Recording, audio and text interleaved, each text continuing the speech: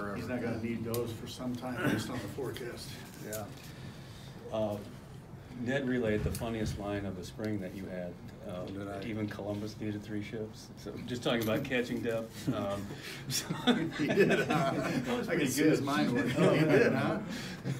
Uh, Just talk a little bit about what Martin brings to this team and how important the value of, of- of Yeah, an experienced that's a great question. And, you know, first of all, you know, anytime you lose a, a player like Salvador Perez, it's, uh, you know, it, it's hard to overcome. And, um, but I'm, I'm really excited, uh, and we're excited the way Cam Gallagher and, and uh, Meibrys Viloria have stepped up. I mean, they have given us a lot of confidence uh, going forward, uh, and a lot of hope. Uh, they give us a lot of depth. We think both of them have a chance to be frontline major league catchers.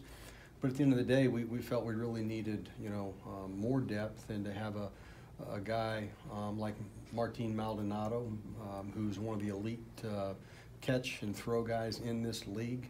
Um, we think that his power still has some potential as well. I mean, last year at his power numbers, the second half increased. Uh, we liked that.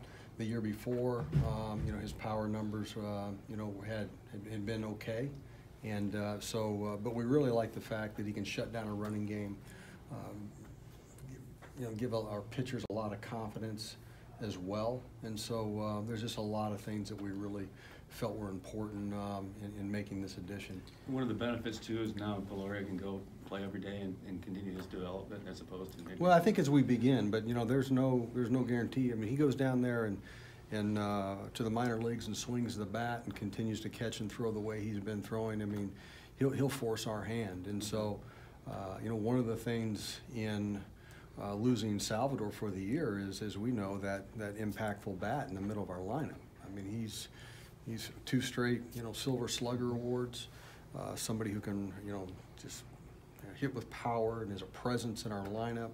And so, um, you know, we, we're going to be constantly looking to, to improve our offense as well. And so, Viloria, as we know, is, uh, is an offensive oriented catcher. And, you know, there's no reason he can't force our hand as we go forward. So, um, you know, we began this season with, uh, with the mindset that Cam would be the backup to Salvi. Mhm. Uh, that has uh, that has not changed. I mean, he's going to be on this team, and as as we sit here today, there's there's still a couple weeks left of spring training. Uh, need to maintain health, uh, you know, all those good things. But uh, we feel like we have a really good uh, group, uh, you know, with uh, with our catching depth now. What was the importance, um, so many young pitchers and Rule 5 guys, to have kind of an experienced, a, a more experienced guy behind the plate for those guys in particular? Well, that that, that pitcher catcher relationship is, is crucial for any successful team, and so to have a guy like you know Martin back there uh, with his experience, as I said, his ability to receive and frame and and block and throw just brings a lot of uh, confidence uh, to our pitching staff, and as you mentioned, a young pitching staff who certainly is is going to, to need that in over 162 games. But look, we, we like Cam a lot as well. We, we think Cam has a chance to be an elite receiver as well. Uh, you know, he's his bat continues to develop. You know, we think he has a chance to be a an everyday major league catcher. And uh, with Meibrys, I mean, he's he's the same. I mean, he's a guy that a lot of upside. Obviously, last year he got a got a chance to come to the major leagues because of some injury, but uh, you know has not played a game above high A. And so you, you want to make sure that he gets uh, the proper nurturing and development uh, in the minor leagues. How, um, how, I guess, quickly did Martin become an option for you guys? And I think people started connecting the dots as soon as Sal's news came out. And, um, Yeah, it's a natural natural place to look. Of course, I mean, one of again one of the elite uh, catchers uh, in, in our game remained in the in the free agent market. So, uh, you know, when we got news uh, earlier that day that you know Salvi was probably going to have to go in for an MRI, and through Nick's uh, judgment, uh, anticipating the worst, expecting the best, uh, we began to you know make a lot of calls and uh, and see what uh, you know his situation was. But Lynn, even before that, I mean, we were looking to add depth uh, with a catching position in AAA, even when expecting Salvi to be healthy for, for 2019. I mean, we were looking for that depth, so we were kind of already in the. I mean, we, we felt uh, there was perhaps maybe 14 catchers that were going to be available uh, at the end of spring training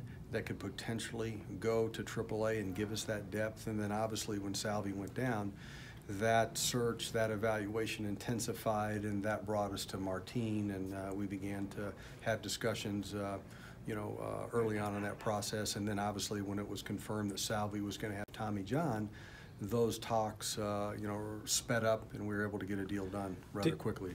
Did his did his change in representation have any impact on your ability to get a deal done?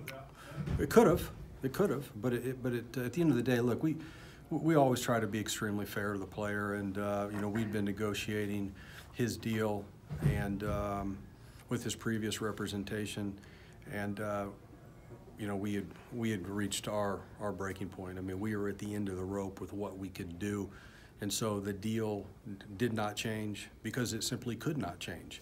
And uh, so when he changed uh, representation, that uh, it was just, just a formality as far as communicating, you know, what we could do. And whether there was other options or other teams stepped up, uh, I'm not sure about that. But uh, obviously, you know, this was an opportunity that he felt was important. And we're, we're fortunate to have him at this point in time in camp. David, you oftentimes will say, hey, we've been following so-and-so player since, since high school or since college, or remember like when Goodwin came in here, we've been, we've been on him for a while. Right.